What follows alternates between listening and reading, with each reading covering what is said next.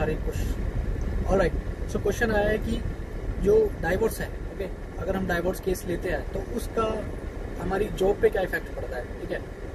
I am talking about government job suppose पति की government job है ठीक है? और वाइफ केस करती है डाइवोर्स का। तो देखो आपको कुछ फ़र्क नहीं पड़ता ठीक है? आपका कोई क्योंकि जो लॉ है ना ये पर्सनल लॉ है। आपने कोई क्राइम नहीं किया। जैसे कि हिंदू मैरिज एक्ट है ठीक है? अब आपने देखा होगा वो पर्सनल लॉ है ठीक है? वो पर्सनल लॉ यानी कि वो आपके ऊपर अप्लाई होगा। उससे आपकी जॉब का कोई लेना देना नहीं है, ठीक है? डीवी डालती है, उसका भी कोई इतना वो है नहीं, ठीक है? क्योंकि उसमें भी सेटलमेंट हो जाता है मोस्टली ठीक है? और अगर डाइवोर्स केस करती है, कुछ लोग पूछते हैं डाइवोर्स के बाद भी वो मेंटेनेंस देखो यार, वो तो है ही मेंटेनेंस तो लेगी ही, ठीक है? लेकिन आपका जॉब पे कोई फ़र्क नहीं पड़ेगा, ठीक है? आपकी बेसिक गवर्नमेंट जॉब हो और कोई भी हो, बस वो क्रिमिनल नहीं होना चाहिए, आपने उसके साथ मारपीट नहीं की होनी चाहिए, ठीक है?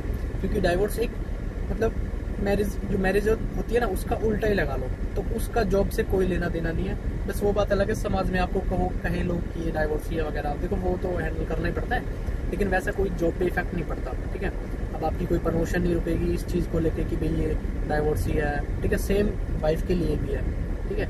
अब समाज कैसा है, वो आप, वो अलग बात है, ठीक है? समाज में तो होती है कि यार ये डाइवोर्स है वो है, पता नहीं क्या है, ठीक है?